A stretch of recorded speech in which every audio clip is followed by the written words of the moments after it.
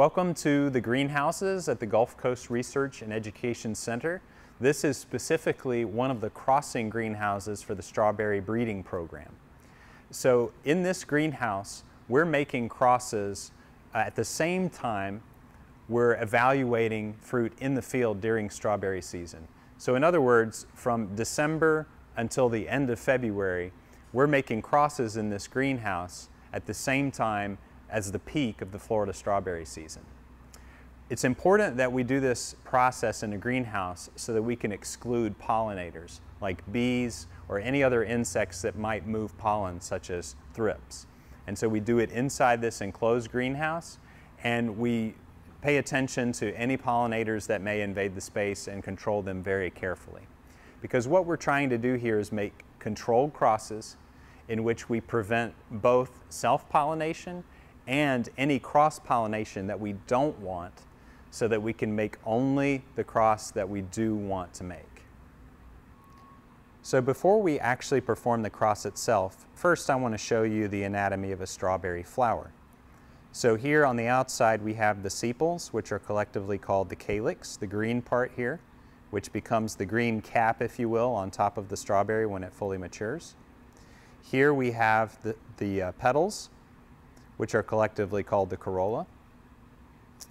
The next layer we have inside are the anthers, which release the pollen. And in the very center of the flower, we have the female parts, or the pistils. So you can see that this strawberry flower is a perfect flower. It has both male and female parts. And in the field, it's capable of self-pollinating. And that's what typically happens in strawberry production is that the pollen from these anthers simply shed onto the pistils and that's what allows the fruit to form and properly form and ripen in the field. But of course in the crossing we want to prevent this from self-pollinating. So what we do is before this flower opens to the stage that you're seeing right now, when, when, the, when the calyx is actually completely closed and before the pollen is dehiscing, that's when we, we perform the mas emasculation process. So next, we're going to show you how the emasculation is done. So here we're going to show an emasculation, which means that we need to remove the male parts of the flower so that the flower will not self-pollinate. And in strawberry, the easiest way to do that is to remove the calyx, the corolla, and the anthers all in one step. So we use a very fine uh, tool here to basically grasp only the edge of the calyx. And when that is grasped and pulled away, the petals also come away and the anthers also come away. And what we're left with in the end is just the female parts of the flower, the pistils, which appear yellow there, and it's going to be ready for pollination in one day to three days. So because we're removing uh, the male parts of the flower before the flower is fully open and ready to be pollinated, we need to let those pistils mature so that they're more receptive to the pollen. So we found generally between one and three days after emasculation is the best time to then perform the pollination. So now we've come back one to two days later and we're ready to perform the pollination.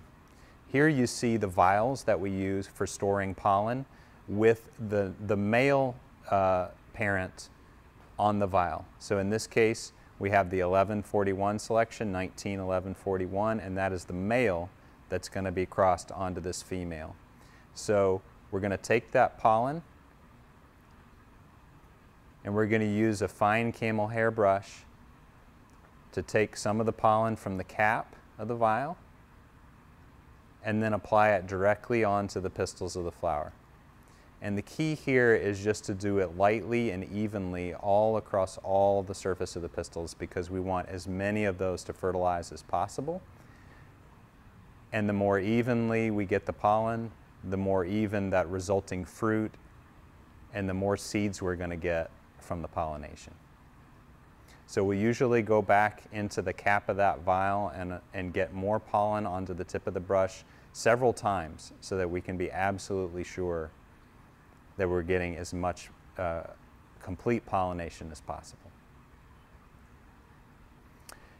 So once we've gotten enough pollen that we're confident we've covered all of the pistils, then we'll tag the flower. So what we'll do is we'll show one that was previously done as an example. So the tag lists the cross number, which is cross 86 that you can see on the top. The female plant that we're pollinating onto is 1813-109, and as I just showed, the male pollen was 1911-41.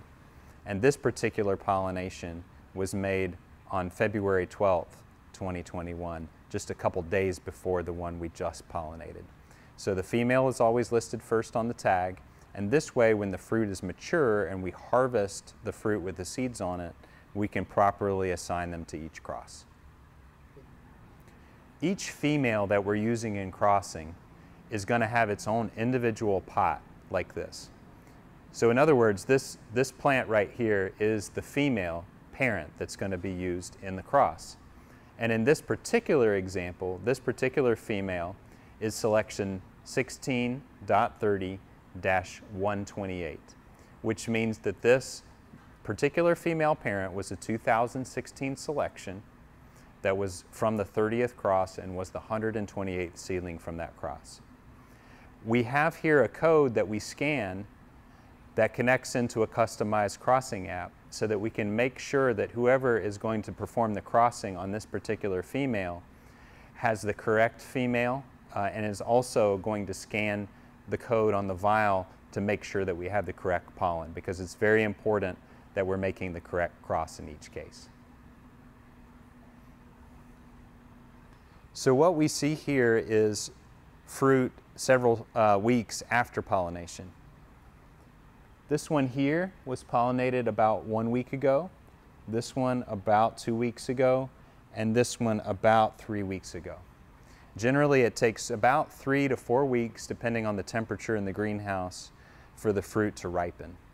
And once the fruit are completely red, all the way from where the calyx would have been attached down to the tip of the fruit, that means that the fruit is ready and the seeds, or actually the achenes as they're technically called, can then be extracted from the fruit and then would be later ready for germination. So essentially what we would do is take a fruit like this, we would blend it up in water, and we would do that to separate the seeds from the flesh. The seeds that float are not filled, but the seeds that fall to the bottom after blending are filled. And then we use that process iteratively to clean off the seeds, dry them, and then they're ready for the germination process.